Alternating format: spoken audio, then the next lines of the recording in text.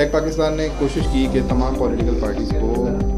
Invite किया जाए और उनसे ये डिस्कस किया जाए कि उनका टेक पाकिस्तान ने कोशिश की कि तमाम पॉलिटिकल पार्टीज़ को इनवाइट किया जाए और उनसे ये डिस्कस किया जाए कि उनका रोड मैप क्या है डिजिटल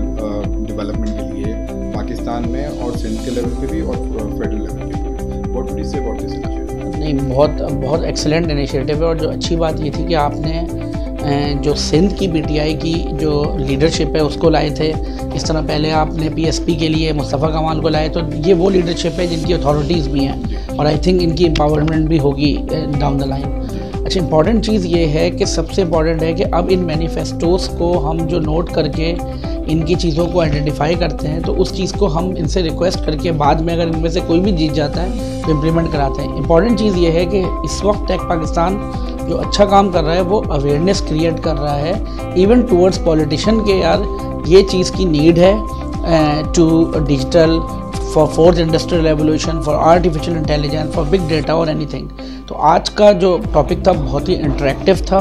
और अच्छी बात ये थी कि पॉलिटिशियंस ने बड़ी पेशेंस के साथ उस चीज़ का जवाब दिया चाहे वो कुछ प्रॉज एंड कॉन्स के ऊपर था। तो आई होप uh, ये चीज़ कंटिन्यू रहनी चाहिए and wish Tech Pakistan best of luck one more thing one more thing I would like to ask Sindh में आईटी बोर्ड मौजूद नहीं है सिंध में आईटी बोर्ड मौजूद नहीं है तो टैक पाकिस्तान ने अपने तय ये कोशिश की, अपनी पॉकेट से, अपनी एफर्ट से सारी की सारी, आप सारे दोस्तों की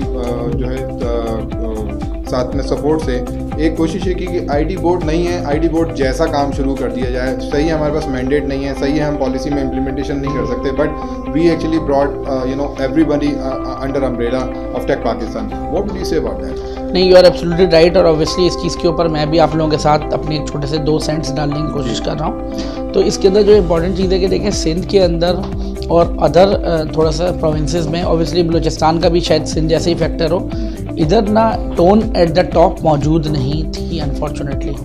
when there is no tone at the top at the leadership तो डाउन द लाइन उस चीज़ की इम्प्लीमेंटेशन गवर्नमेंट लेवल पे मिनिस्ट्रियल लेवल पे एंड देन ब्यूरोक्रेट से टेक्नोक्रेट लेवल पे नहीं आती. अच्छी बात यह है कि टेक पाकिस्तान सिंध को directly Tech Pakistan as a on premise मिल गया है कि ये सिंध में ही मौजूद ज़्यादा प्रेजेंस है. तो उसकी वजह से इस सिंध के लिए टेक पाकिस्तान एक इनिशिएटिव ले सकती है सपोर्ट कर सकती है और आने वाली गवर्नमेंट को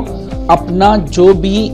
लेवल ऑफ़ अवेयरनेस है वो दे सकती है। Obviously we are like non profit organization तो इसमें सबसे अच्छी बात यही है कि हम सिर्फ़ अपने लेवल पे अवेयरनेस क्रिएट कर सकते हैं और जो जो तमाम हमारे backgrounds and methodologies and implementation scenarios हैं उसके ऊपर हम काम हम पॉलिसी भी सजेस्ट कर सकते हैं thank you thank you thank you निशान